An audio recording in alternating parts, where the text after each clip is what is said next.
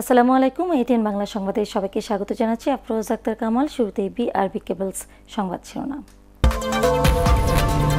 শপথ নিলেন ছেচল্লিশতম মার্কিন প্রেসিডেন্ট জো বাইডেন, ট্রাম্প শাসন আমলের অবসান।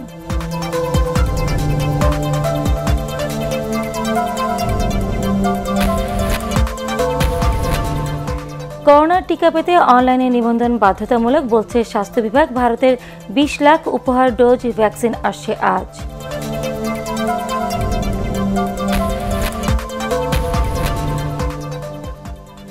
জি কে শামীমকে জামিন পেতে সহযোগিতায় অবৈধভাবে টাকা নেয়ার অভিযোগে deputy attorney general Jannatul Ferdousi রূপাকে দুদকের জিজ্ঞাসাবাদ।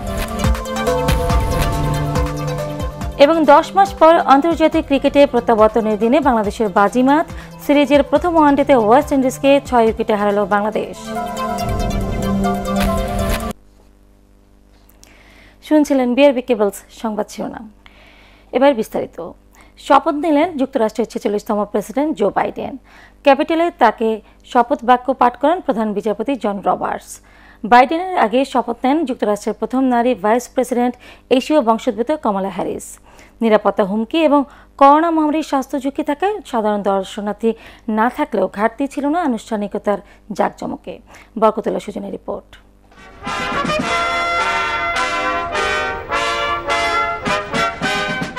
যুক্তরাষ্ট্রের ইতিহাসে ক্ষমতার সবচেয়ে নাটকীয় পরিবর্তনের সাক্ষী হয়ে থাকল ক্যাপিটল হিল প্রতিপক্ষের মামলা হামলা আর করোনার আতঙ্ক উপেক্ষা করে রাজসিক অভিষেক হল আমেরিকার বয়স্কতম প্রেসিডেন্ট জো বাইডেনের as the president-elect comes. I, Joseph Robinette Biden Jr., do solemnly swear that I will faithfully execute that I will faithfully execute the office of President of the United States office of President of the United States জো বাইডেনের আগে শপথ নেন প্রথম নারী vice president কমলা Harris প্রথম এশীয় বংশোদ্ভূত কৃষ্ণাঙ্গ ভাইস প্রেসিডেন্ট হিসেবেও ইতিহাসে নাম লেখান তিনি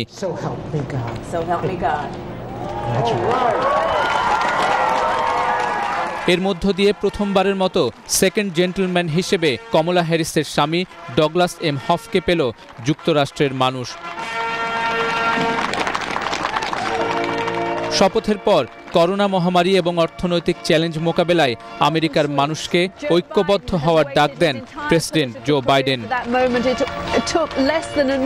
This is Democracy's a day of history and hope, of renewal and resolve. Through a crucible for the ages, America has been tested anew, and America has risen to the challenge. Joe বাইডেনের শপথ অনুষ্ঠানে VIP অতিথি হিসেবে উপস্থিত ছিলেন সাবেক তিন president Barack Obama, Bill Clinton এবং George W Bush. Donald Trump না থাকলেও অনুষ্ঠানে যোগ দেন বিদায়ী ভাইস প্রেসিডেন্ট মাইক পেন্স। সাধারণ দর্শনার্থীদের পরিবর্তে ন্যাশনাল মলে বাতাসে দোলে প্রায় দুই লাখ পতাকা।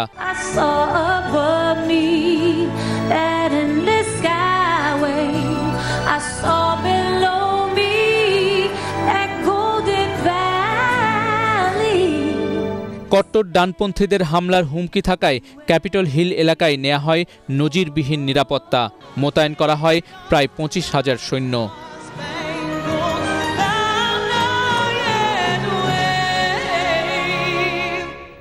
Barkatullah Sujon ATN Bangla.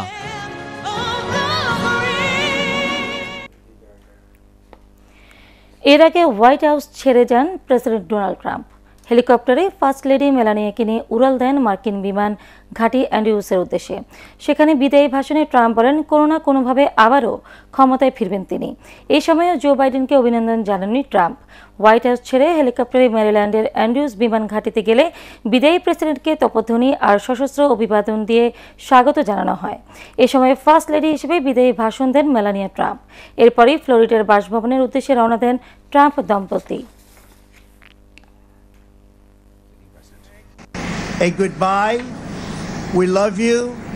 We will be back in some form. So I want to thank all of the great people of Washington, D.C., all of the people that we worked with to put this miracle together. So have a good life. We will see you soon. Thank you. Thank you very much. করোনার টিকা নিতে হলে অ্যাপসের মাধ্যমে নিবন্ধন করতে হবে নিবন্ধন ছাড়া কাউকে টিকা দেওয়া হবে না বলে জানিয়েছে স্বাস্থ্য বিভাগ। প্রধানমন্ত্রীর কার্যালয়ে সংবাদ সম্মেলন সম্মেলনে স্বাস্থ্য বিভাগের পক্ষ থেকে আরও জানানো হয়, ভারত থেকে উপহার পাওয়া অক্সফোর্ডের বিশ লাখ ডোজ দিয়ে চলতি মাসেই শুরু হবে টিকাদান কার্যক্রম।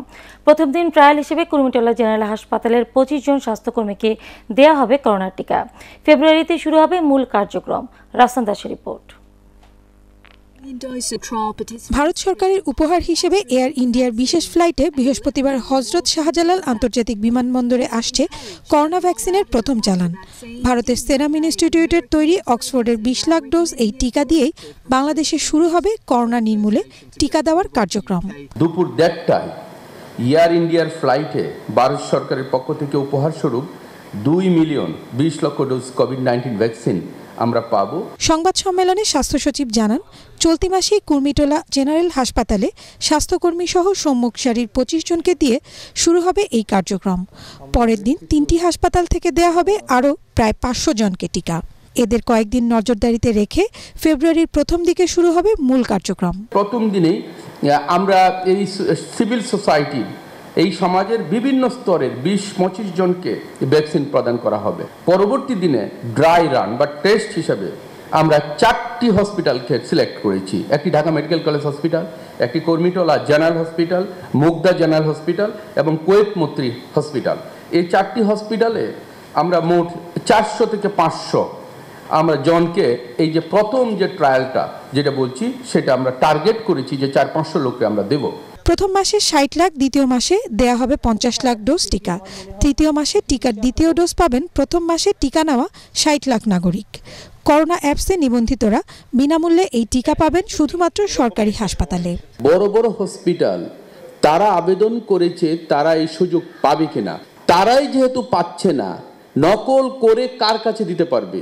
এরপরেও বলা হয়েছে, আপনাকে একটু নিশ্চয়তা দেই, যে যারা এগুলো করতে চাচ্ছে, এদের প্রত্যেকটি স্টেপ পুঙ্খানুপুঙ্খভাবে ডিজি ড্রাগ অ্যাডমিনিস্ট্রেশনের লোকজন মনিটর করবে। সংবাদ সম্মেলনে আরও জানানো হয়, যারা টিকা নেবেন, তারা সবাই সরকারের টেলিমেডিসিনের আওতায় থাকবেন। প্রতিদিন এ সংক্রান্ত বুলেটিন প্রচার করা হবে বলেও জানানো হয়। রাস্তা দাস এটিএন বাংলা, ঢাকা। এদিকে ভারতের উপহার হিসেবে পাঠানো বিশ লাখ ডোজের ভ্যাকসিন দেশে আসছে আজ। রাজধানী ফরেন সার্ভিস একাডেমিতে এক অনুষ্ঠানে পররাষ্ট্রমন্ত্রী এ কে আব্দুল মোমেন এই তথ্য জানান। বিদেশে কর্মসংস্থান তৈরি ও যৌথভাবে কৃষিকাজ বিষয়ে সেমিনারে মন্ত্রী আরও বলেন, দুই হাজার সাতাশ সালের মধ্যে বিদেশে পঞ্চাশ লাখ প্রবাসীর কর্মসংস্থান তৈরির সম্ভাবনা রয়েছে। আফ্রিকার দেশও বিভিন্ন জায়গায় কৃষিখাতে বিনিয়োগ ও শ্রমিক পাঠানোর বিষয়ে সরকারের পরিকল্পনাও তুলে ধরেন তিনি।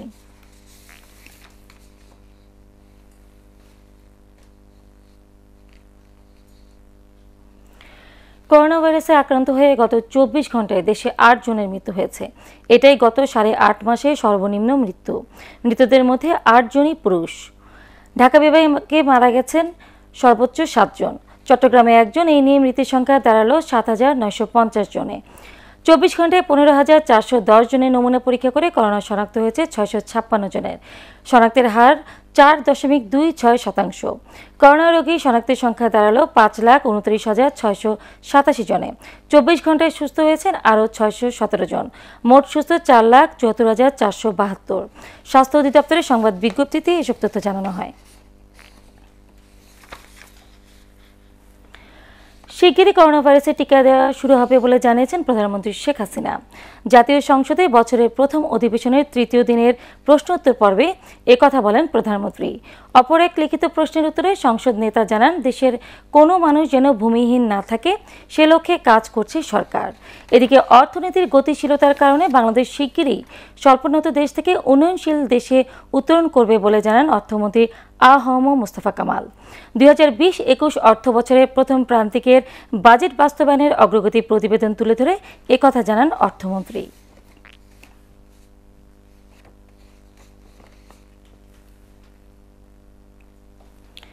করোনা ভাইরাসের টিকা নিয়ে বিএনপি আগাম অপপ্রচার চালাচ্ছে বলে মন্তব্য করেছেন আওয়ামী লীগ সাধারণ সম্পাদক ওবায়দুল কাদের। জনগণের কল্যাণে যে কোনো কাজকে প্রশ্নবিদ্ধ করাই দলটি রাজনীতি বলে উল্লেখ করেন তিনি। রাজধানীর ধানমন্ডিতে দলীয় সভাপতি শেখ হাসিনার রাজনৈতিক কার্যালয়ে আওয়ামী লীগের শ্রম ও জনশক্তি বিষয়ক উপকমিটির আলোচনা সভায় কথা বলেন ওবায়দুল কাদের।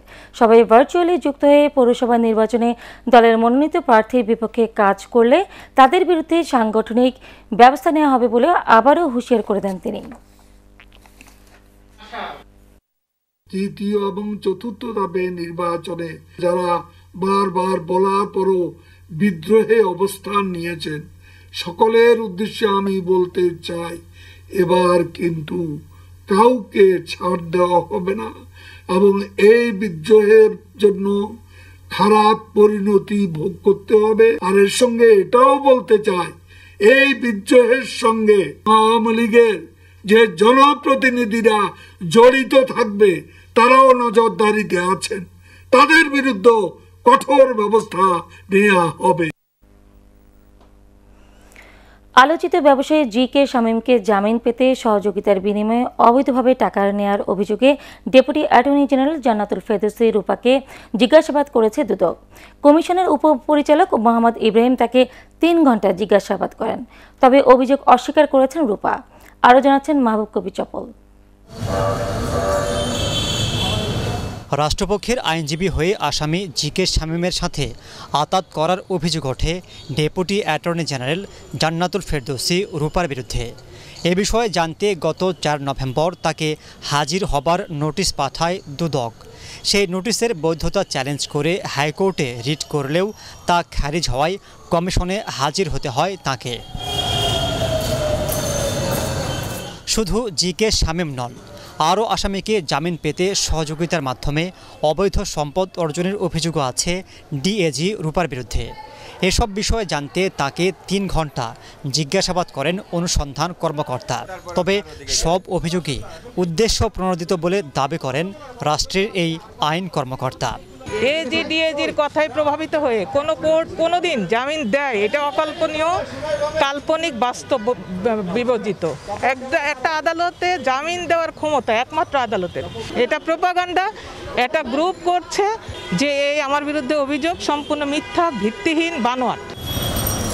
সুনির্দিষ্ট অভিযোগের ভিত্তিতেই রূপাকে জিজ্ঞাসাবাদ করা হয়েছে বলে জানান দুদক সচিব। তার বিরুদ্ধে একটি অবৈধ প্রক্রিয়ার একটি জামিনের বিষয় আছে একজন আসামির সেই কারণে তার বিরুদ্ধে দুদক থেকে অবৈধ সম্পদ আছে কি না এবং সেই বিষয়টি খোঁজ নেওয়া হয়েছে। একজন রাজনৈতিক নেতা স্ত্রীর সঙ্গে দ্বন্দ্বের বিষয়ে আসলে এটা আসলে না এটা আমরা জানি না। এছাড়াও সরকারি সম্পত্তি দখলের মামলাসহ তিন মামলায় পিরোজপুরের আওয়ামী লীগের সাবেক এমপি এম এ আওয়াল ও তার স্ত্রীর বিরুদ্ধে চার্জশিট দিয়েছে দুদক। Mahbub Kabir Chapal ATN Bangla Dhaka. Bangladesh West Indies সিরিজের খবর।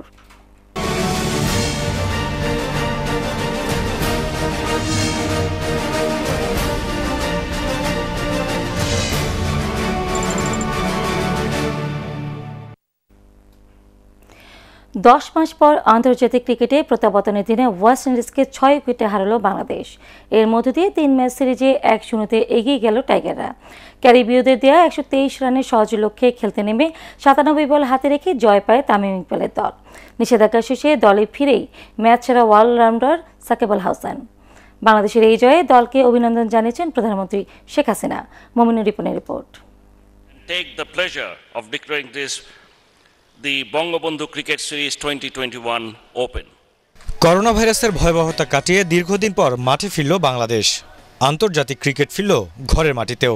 নিষেধাজ্ঞা কাটিয়ে দেশের জার্সি গায়ে ফিরলেন দলের পোস্টার বয় সাকিব আল হাসানও। সব মিলিয়ে গত দশ মাসে এদেশের ক্রিকেটের জন্য সবচেয়ে গুরুত্বপূর্ণ একটা দিন। যেদিনে অভিষেক হলো সাত ক্রিকেটারের, যার মাত্র একজন স্বাগতিক দলে বাকি ছয়জন ক্যারিবীয়দের। বোঝা যায় আনকোরা অনভিজ্ঞ দল নিয়েই বাংলাদেশের বিপক্ষে লড়বে সফরকারীরা। আর এই দল নিয়ে টাইগারদের ঘাড়ে চেপে বসা যে কঠিন হবে তার শুরুতেই বুঝিয়ে দিলেন কাটার মাস্টার মুস্তাফিজুর রহমান। দলের চব্বিশ রানেই সাজঘরে ফেরালেন ওয়েস্ট ইন্ডিজের দুই ওপেনারকে এরপর সাকিব আল হাসানের মায়াজালে দিশেহারা অনভিজ্ঞ ক্যারিবীয় দল। তুলে নেন টানা তিন উইকেট। তাতে ছাপ্পান্ন রানে পাঁচ উইকেট হারিয়ে ধ্বংসস্তূপে রূপ নেয় ওয়েস্ট ইন্ডিজ। ষষ্ঠ উইকেটে পাওয়েল ও মায়ার্সের উনষাট রানের জুটিতে লড়াই ফেরার চেষ্টা সফরকারীদের। প্রতিরোধের দেয়াল ভাঙেন অভিষিক্ত হাসান মাহমুদ।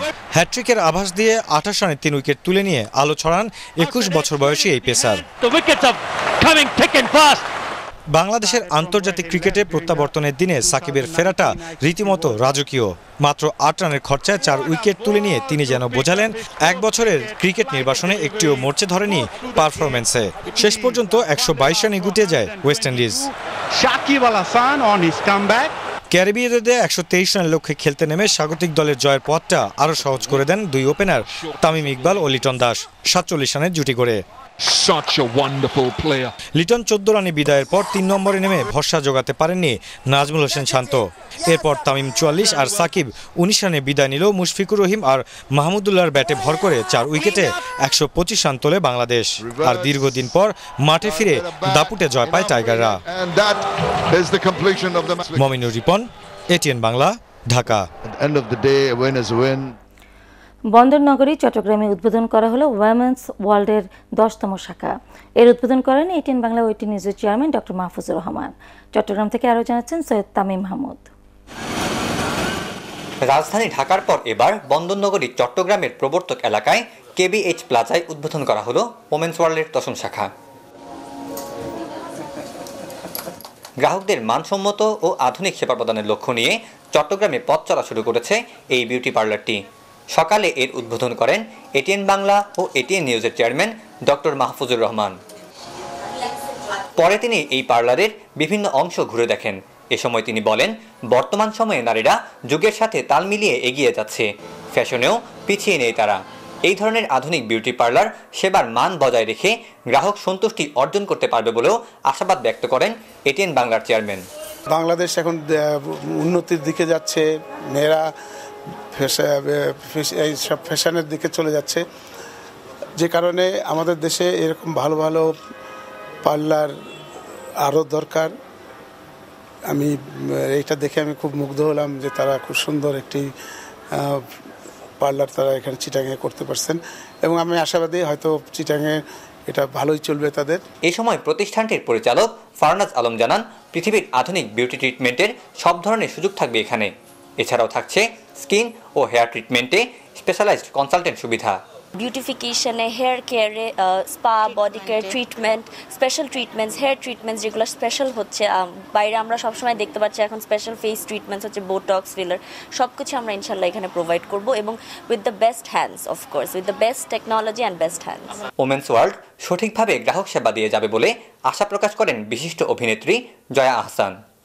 আমি রূপ বিশ্বাস করি না আমি সৌন্দর্য বিশ্বাস করি। যেটা ইনহ্যান্স করবার জন্য সবসময় সবসময় ওমেন্স ওয়ার্ল্ড কাজ করে এসছে যে নিজের ভেতরে যে ইনার বিউটিটা সেটাকে আরও ইনহ্যান্স করে ব্যক্তিত্বের সৌন্দর্যটাকে উপস্থাপন করা। এ সময় প্রতিষ্ঠানটির ঊর্ধ্বতন কর্মকর্তারা উপস্থিত ছিলেন। সৈয়দ তাম্মিম মাহমুদ এটিএন বাংলা চট্টগ্রাম। সরকারের যথাযথ পদক্ষেপের কারণে করোনার ভ্যাকসিন সঠিক সময়ে আসছে বলে মনে করেন তথ্যমন্ত্রী ডক্টর হাসান মাহমুদ। তার মতে, করোনায় প্রাণহানি কম হওয়ায় বিএনপি নেতাকর্মীদের মন খারাপ। তিনি অভিযোগ করেন, কোনো কিছু না পেয়ে দলটি ভ্যাকসিন নিয়ে মিথ্যাচার করছে। এত কিছুর পরও বিএনপির নেতাকর্মীদের আগে ভ্যাকসিন দেওয়ার সুপারিশ করেন তথ্যমন্ত্রী। ফ্রন্টলাইনার হিসেবে সাংবাদিকদের আগে ভ্যাকসিন দেওয়ার কথা বলেন তিনি। সচিবালয়ে সাংবাদিকদের এসব কথা জানান তথ্যমন্ত্রী।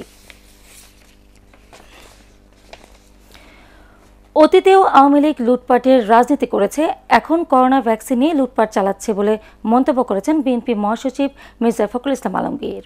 হাইকোর্ট মিলনায়তনে জিয়াউর রহমানের জন্মবার্ষিকী উপলক্ষে স্বেচ্ছাসেবক দল আয়োজিত আলোচনা সভায় তিনি মন্তব্য করেন। সরকারের সুনির্দিষ্ট পরিকল্পনার অভাবে সাধারণ মানুষ ভ্যাকসিন পাওয়া নিয়ে অনিশ্চয়তা তৈরি হয়েছে বলে দাবি করেন মির্জা ফখরুল। ক্ষমতা চিরস্থায়ী করতে আওয়ামী লীগ জিয়াউর রহমানের নাম মুছে ফেলতে চায় বলেও অভিযোগ করেন তিনি।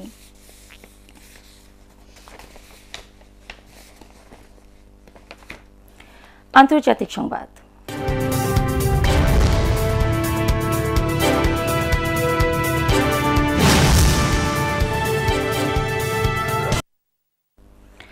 নানা সন্দেহ সংশয়ের পর প্রথমবারের মতো জনসম্মুখে এলেন আলিবাবা গ্রুপের প্রতিষ্ঠাতা জ্যাকমা। সরকারি এক স্থানীয় সংবাদ মাধ্যম জানায়, বুধবার অনলাইনে প্রত্যন্ত এলাকার শিক্ষকদের সাথে এক ভিডিও কনফারেন্সে হাজির হন এই শিল্পপতি। এর আগে হঠাৎ করেই লোকচক্ষুর আর অন্তরালে চলে যাওয়ায় জ্যাকমাকে নিয়ে তৈরি হয় নানা সন্দেহ সংশয়। গত অক্টোবরে সাংহাই ফোরামের অনুষ্ঠানে চীনা কেন্দ্রীয় ব্যাংকের সমালোচনা করায় তার ব্যবসা প্রতিষ্ঠানগুলোকে কঠোর নজরদারির অধীনে আনে বেজিং এমনকি নিয়মিত টিভি অনুষ্ঠানে শিডিউল থাকা সত্ত্বেও যোগ দেননি জ্যাকমা ফলে তিনি কোথায় আছেন কেমন আছেন তা নিয়ে তৈরি হয় নানা গুজব বিভ্রান্তি। পার্টেক্স খেলার খবর।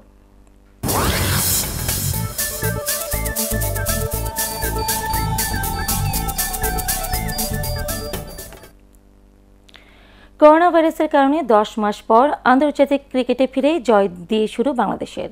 বল হাতে দেশসেরা অলরাউন্ডার সাকিব আল হাসান আলো ছড়ানোর পর ব্যাট হাতে সর্বোচ্চ রান করেন অধিনায়ক তামিম ইকবাল।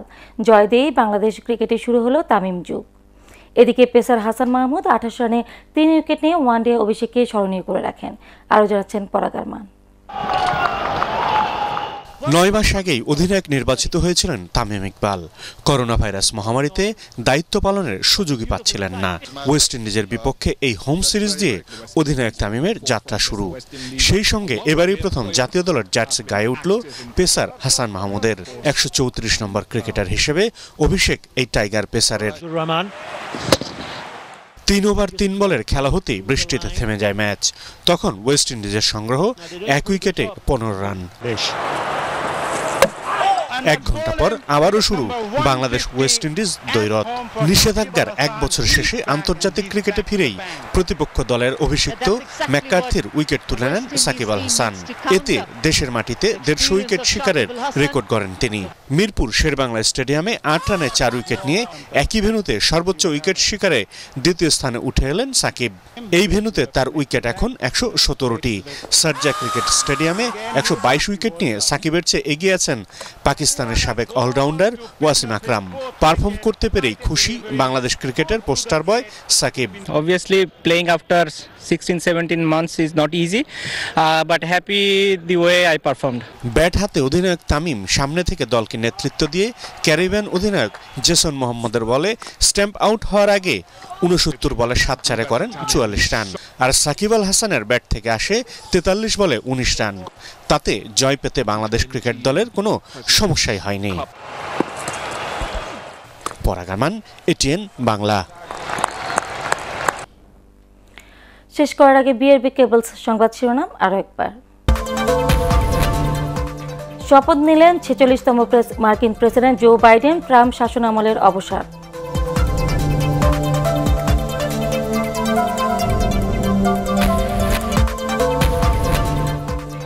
করোনার টিকা পেতে অনলাইনে নিবন্ধন বাধ্যতামূলক বলছে স্বাস্থ্য বিভাগ, ভারতের বিশ লাখ উপহার ডোজ ভ্যাকসিন আসছে আজ।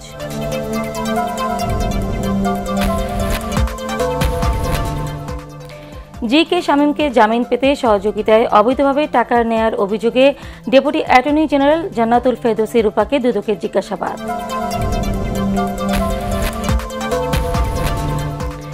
এবং দশ মাস পর আন্তর্জাতিক ক্রিকেটে প্রত্যাবর্তনের দিনে বাংলাদেশের বাজিমাত সিরিজের প্রথম ওয়ানডেতে ওয়েস্ট ইন্ডিজকে ছয় উইকেটে হারালো বাংলাদেশ।